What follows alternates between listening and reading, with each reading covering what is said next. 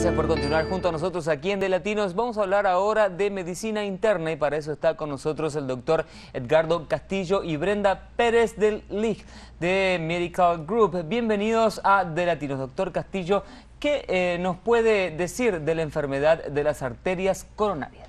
Bueno, la enfermedad de las arterias coronarias, primero tenemos que tener en cuenta que esta es la enfermedad o la condición número uno para de mortalidad en hombres y en mujeres. Eh, y esta enfermedad eh, lo que significa es que estas arterias, las cuales llevan el flujo sanguíneo al miocardio, al músculo del corazón, se ocluyen por una placa mayormente compuesta de colesterol y no deja entonces que pase esos nutrientes y ese oxígeno al músculo cardíaco, produciendo el famoso infarto cardíaco. Ahora, ¿cuáles son los principales factores de riesgo de esta enfermedad? Eh, bueno, los factores de riesgo tenemos varios, unos son los modificables y otros son los no modificables. Dentro de, dentro de los que no se pueden modificar, tenemos aquí la edad, obviamente, ¿verdad? No se puede modificar eso. Tenemos el historial familiar y también tenemos eh, eh, el sexo. Dentro de los que podemos modificar, aquí es que entra el juego eh, la comunicación entre paciente y el médico. está la diabetes, bien importante, el colesterol, la hipertensión, inactividad física, el estrés y el fumar. Ahora, ¿qué consejos nos puede dar dentro de estos factores evitables?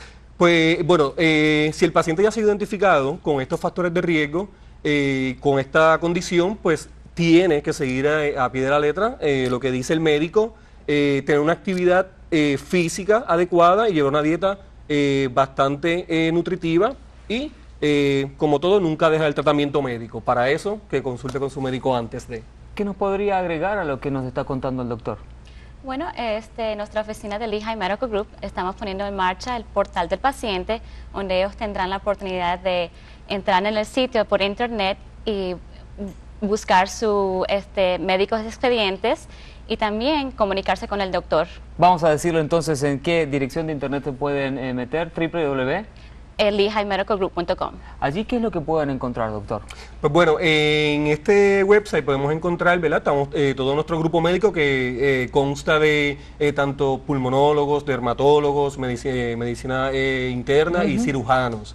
y también pueden encontrar una variedad de información educativa para los pacientes. Doctor, quería centrarme en dos puntos de, esta, de estas cuestiones que le podemos decir a tanta gente que nos está mirando. Uno, la alimentación y otro, el deporte. Ajá importantísimo como para... Eh, no, sumamente importante. Eh, tenemos que tener en cuenta que ahora la obesidad, ¿verdad? Tanto infantil como adulta, lleva, eh, lleva esto es una cadena, ¿verdad? De secuencia, porque una obesidad produce diabetes, produce hipertensión y produce el colesterol, que son tres factores de riesgo importantes para producir esta enfermedad cardíaca. Ahora, en nuestra comunidad hispana, ¿no? Que comemos a veces tan mal y que nuestros deportes no son lo que deberíamos hacer. ¿Cuál es el consejo para toda nuestra comunidad? Claro, lo que se aconseja de ejercicio, por lo menos hacer 15 a 20 minutos de cualquier ejercicio cardiovascular, ya sea bicicleta estacionaria, el treadmill, eh, o caminar simplemente pasivamente 15 a 20 minutos tres veces a la semana y una dieta baja en grasa saturada, tanto en colesterol y pues carbohidratos dañinos. ¿Estos consejos son los mismos para el hombre y para la mujer?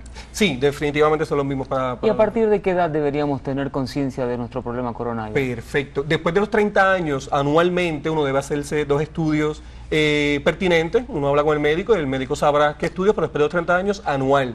Pero si ya hay un problema infantil de obesidad, pues entonces desde esa edad hay que, hay que eh, monitorizar estos factores de riesgo. Finalmente, ¿qué le diría a toda la gente que nos está escuchando y quiere hacer algún tipo de consulta con ustedes? De favor de llamarnos o entrar al sitio de website para comunicarse con nosotros. Bien, les agradezco muchísimo por haber estado aquí. Mm. Importantísimos los consejos para toda la comunidad. Muchísimas gracias. Buen fin de semana. Ok, igualmente, gracias. Nosotros eh, nos quedamos eh, en De Latinos y ya le doy el pase a nuestro compañero Juan Carlos Gómez, quien tiene muchísima información. Así es, Hernán. Interesante entrevista. Vamos a ir a la pausa, pero no sin antes recordarles www.delatinos.com para encontrar la información más importante y destacada de lo que está buscando en la red y de la región. La salud emocional de las personas influye en todo, tanto la vida personal como en la profesional, por lo tanto cuidarla debe ser una prioridad para cada uno. Ahí lo tienen entonces en la página de internet de latinos.com. Encontrará las cinco claves para mantener equilibrada su salud emocional. Este y muchos otros temas lo va a encontrar en esa página en internet. Llegó el momento ahora sí de irnos a la pausa y volvemos enseguida con mucho más aquí en De Latinos. Recuerden que su participación es muy importante. Si tiene comentarios, sugerencias o denuncias, llame al teléfono que tiene en pantalla.